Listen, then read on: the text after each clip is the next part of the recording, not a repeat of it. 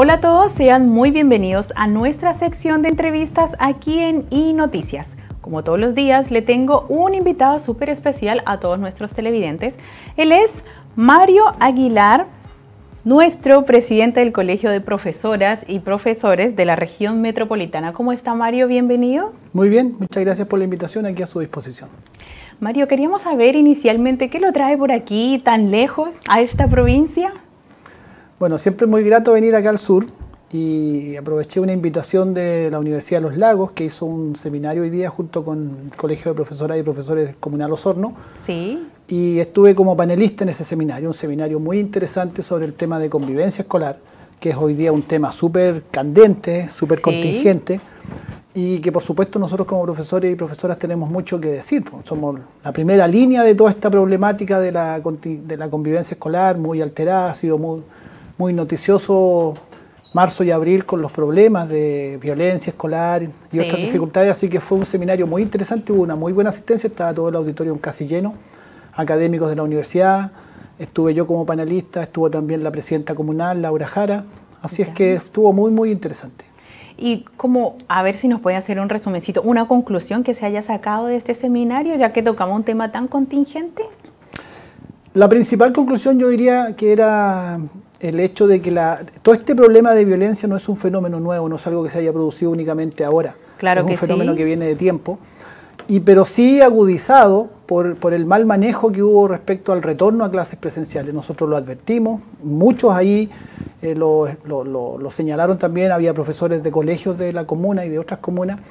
Y también se presentó la investigación de un académico de la universidad, el profesor Mario Sandoval, donde se entrevistó a personas durante la pandemia Fíjese que ya durante la pandemia, en plena cuarentena, la gente decía que el retorno a clase, una vez que se pudiera volver a clases presenciales, tenía que ser gradual, tenía que ser eh, privilegiando la contención emocional y lo social por sobre la cobertura curricular o la supuesta normalización del sistema en forma abrupta. Y nosotros eso lo advertimos. Hay una coincidencia muy fuerte entre lo que pedía la gente, apoderados, mismos profesores de aula, estudiantes, durante la cuarentena, es decir, en pleno momento más álgido de, la, pandemia, y lo que nosotros también como gremio advertimos. Nosotros lo advertimos mucho eso. Y lamentablemente no se nos escuchó.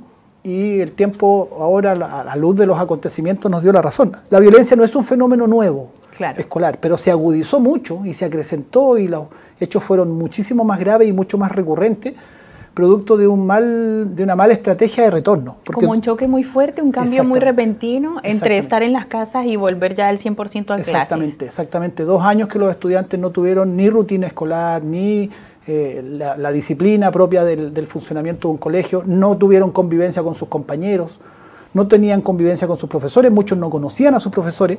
Y algunos pasaron además de la básica a la media en este tiempo de pandemia. Exactamente. Fíjese usted que hay alumnos que como usted muy bien lo ejemplifica, en pandemia estaban en séptimo básico y hoy día están en la educación media. Y ese tránsito no lo hicieron en forma normal, obviamente. O estudiantes que empezaron en el 2020 estaban en primero básico y aprendieron a leer a distancia sin conocer directamente a su profesora ni a sus compañeros. Entonces han habido muchísimos problemas. Siempre dijimos y, y lo advertimos que había que volver en forma gradual, en forma muy paulatina, muy cuidadosa privilegiando lo emocional, porque claramente, y es un problema país que tenemos y por supuesto afecta también a los estudiantes y nos afecta a nosotros como profesores el tema de salud mental, luego de dos años de encierro. No, está, no somos los mismos, estamos afectados por lo que pasó, todos nosotros estamos afectados.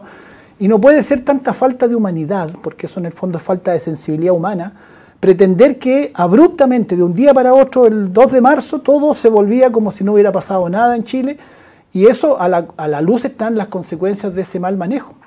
Claro está también, eh, Mario, que eh, uno de los elementos que hace que ahora sea mucho más notorio estos comportamientos de agresividad que hemos visto en algunos colegios aquí, en nuestra provincia hemos tenido algunos casos, es también el manejo que hay ahora de los medios de comunicación.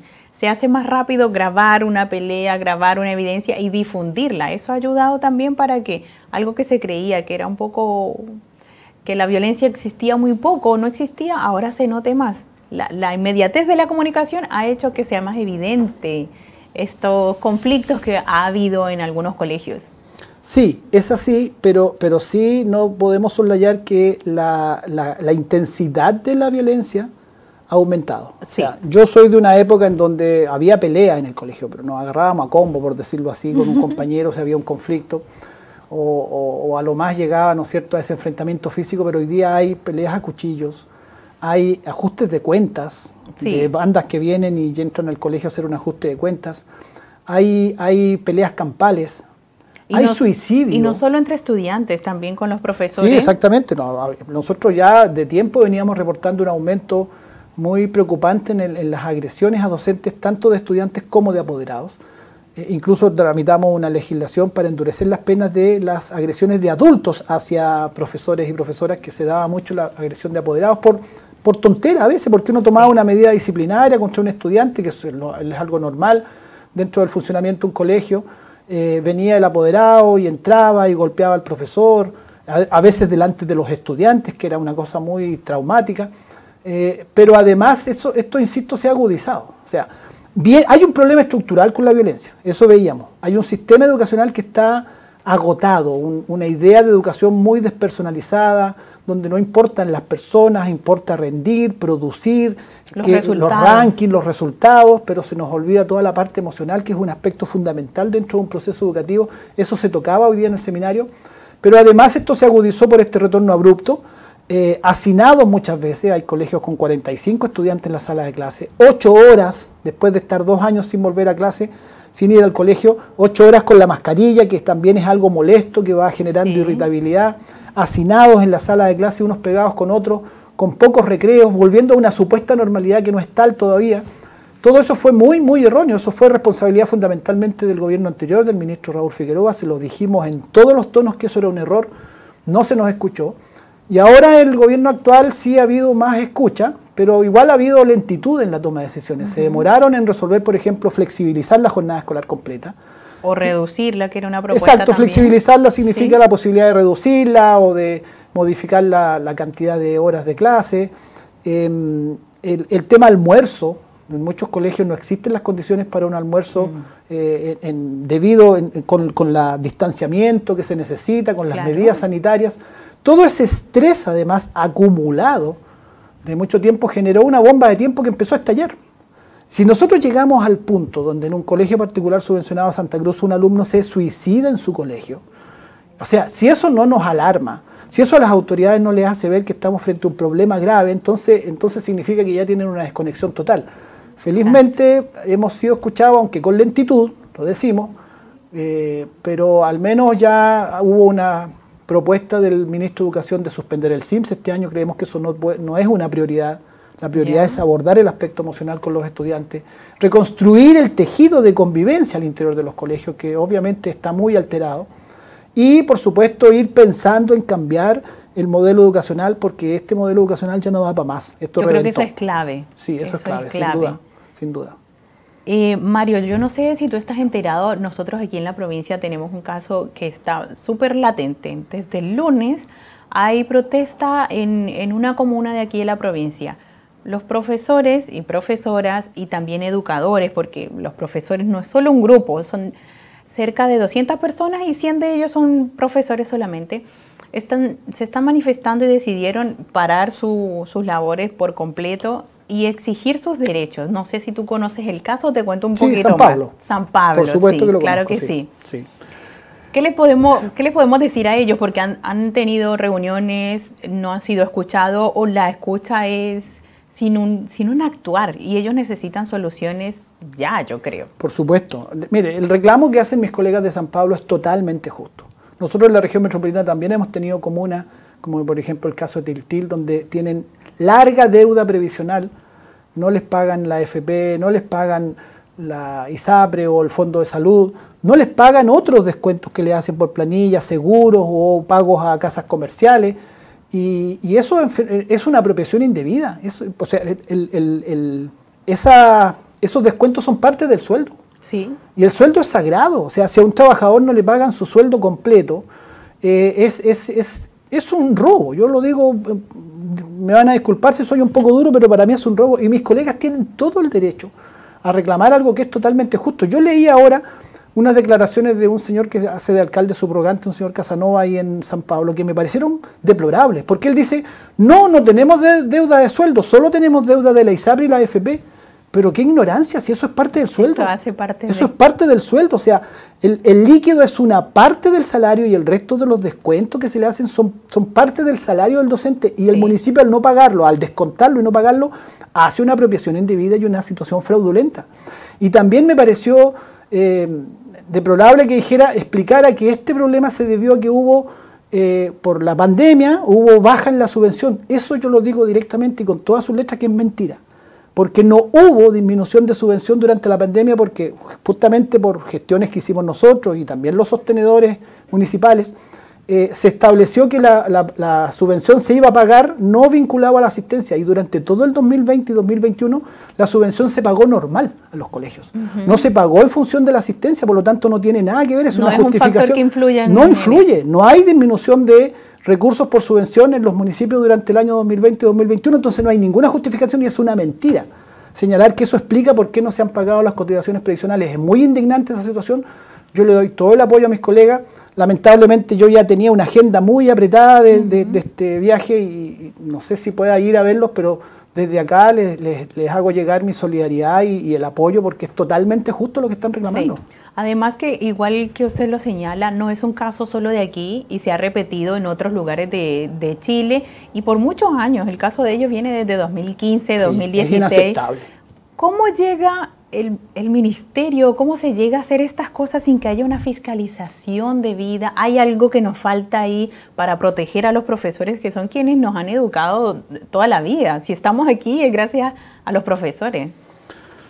Mire, voy a ligar con el debate constitucional. En Chile los derechos sociales y entre eso los derechos laborales son muy débiles.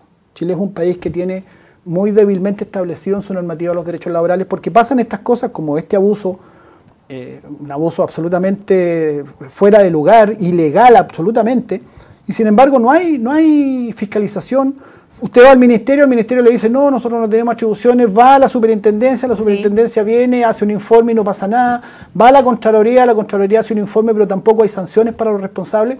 A mi entender, una legislación efectiva sería que las autoridades que no cumplen con cosas básicas como pagar el sueldo fueran presas.